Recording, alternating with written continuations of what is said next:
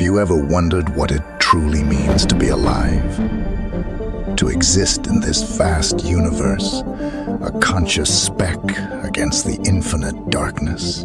Now, imagine waking up one day to the horrifying realization that everything you thought you knew about yourself, your identity, your very essence, is a lie. Welcome to the existential horror of self-awareness. In this video, we will delve into the darkest corners of consciousness, exploring the unsettling questions that plague philosophers and scientists alike. What is consciousness? Is there a self? And what if the answer is nothing? Prepare to confront the hard problem of consciousness, the illusion of self, and the possibility of a dark consciousness lurking beneath the surface of our reality. But fear not, brave explorer. We will also explore some mind-bending theories like panpsychism and the simulation hypothesis that might just offer a glimmer of hope in the face of this existential dread. So buckle up, grab a metaphorical flashlight, and join us as we journey into the unknown, the terrifying and exhilarating world of self-awareness. Welcome to the abyss of wisdom. The basics of consciousness. Now, before we plummet down the rabbit hole of existential dread, let's establish a baseline. What exactly is this consciousness? We're so worried about losing. In its simplest form, consciousness is the state of being aware of yourself and your surroundings. It's the feeling of existing, of having thoughts, feelings, and sensations. It's the reason you can smell the coffee brewing, feel the coolness of the air against your skin, and ponder the deepest mysteries of the universe, all at the same time. But consciousness is more than just basic awareness. It's also about the rich tapestry of subjective experiences we call qualia. These are the raw, unfiltered sensations that make up our unique perception of the world. Imagine the redness of a ripe strawberry. Can you see it in your mind's eye? The sweetness that explodes on your tongue when you take a bite? The feeling of the sun warming your skin on a perfect summer day? These are all qualia, the building blocks of our conscious experience. Qualia are what make your red different from my red, your joy different from mine. They are the essence of what it feels like to be you, a unique and irreplaceable perspective on reality. But is this you as solid and real as it seems? That's the question that will send shivers down your spine. The illusion of self. Now, hold on to your hats or metaphorical helmets because things are about to get weird. For decades, neuroscientists and philosophers have been poking holes in the idea of a unified permanent self. They argue that this sense of I we cling to might be nothing more than an elaborate illusion, a story our brain constantly constructs based on a jumble of incoming information. Think of your brain as a giant information processing center.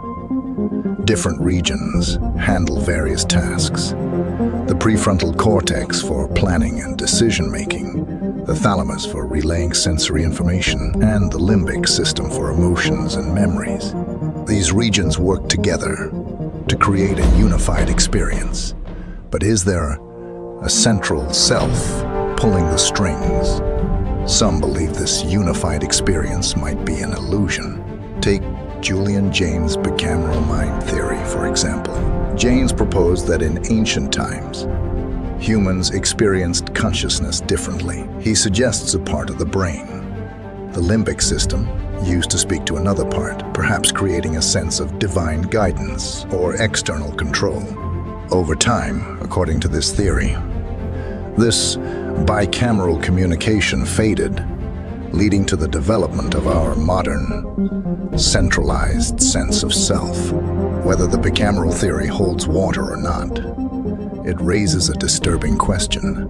If our sense of self is just a product of brain activity, how real is it? And what happens when this finely tuned system goes? Dark. Dark. Consciousness. All right, buckle up. We're about to delve into the truly terrifying aspects of consciousness. The realm of dark consciousness. Imagine a scenario where your awareness remains, but everything else, your sense of self, your emotions, your connection to the world, fades away. You're trapped inside your own mind, a disembodied observer in a prison of darkness. This is the existential nightmare of dark consciousness. It's the fear that our awareness, the very essence of who we are, could become a horrific curse. This isn't just philosophical.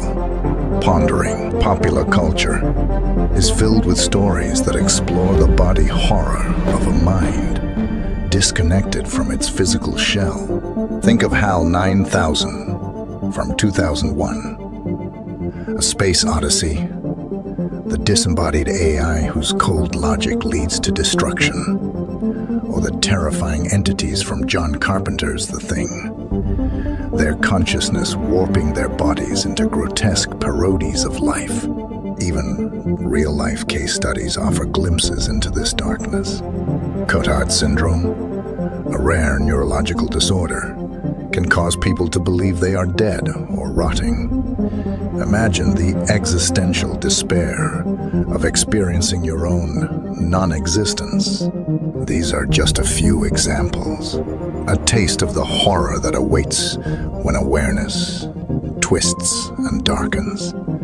But is this inevitable? Or is there more to the story?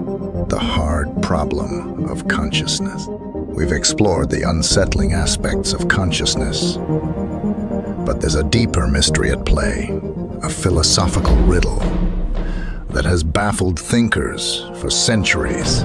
This is the hard problem of consciousness, first articulated by philosopher David Chalmers. In essence, the hard problem asks, why is there something it's like to be anything at all?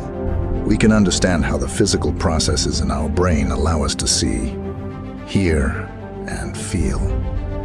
We can even map these processes to specific brain regions. But why does this complex interplay of neurons give rise to subjective experiences? The redness of a rose, the sweetness of chocolate, joy of a hug. Science can explain the what of consciousness, the physical mechanisms involved, but the why, the subjective experience itself, remains a frustrating enigma. This seemingly simple question has profound philosophical implications. It forces us to confront the nature of reality itself. Are our minds simply byproducts of our physical brains, or is there something more? Is consciousness fundamental to the universe? Or is it an illusion? These are the questions that will keep us pondering long after the video ends. But fear not, intrepid explorers. In the next section, we'll delve into some mind-bending theories that might just offer some answers. Existential horror and zombies. All right. So we've established that consciousness is a bit of a mystery, and the possibility of dark consciousness is enough to give anyone nightmares. But here's something even more unsettling. What if there are beings out there who look and act just like us, but lack any subjective experience whatsoever? These are the infamous philosophical zombies. Imagine a creature that walks, talks, and even eats like a human, but has no inner world, no feelings, no thoughts, no qualia. It simply reacts to stimuli based on complex biological processes. The idea of philosophical zombies is a thought experiment, but it raises a terrifying question. How can we be sure we're not them? What if our own consciousness is just an illusion, and we're all just elaborate, biological machines going through the motions of life? This is the heart of the existential horror we've been exploring. The possibility that our sense of self, our experiences, our very existence, might be nothing more than a cosmic fluke. But before you succumb to despair, there's still hope.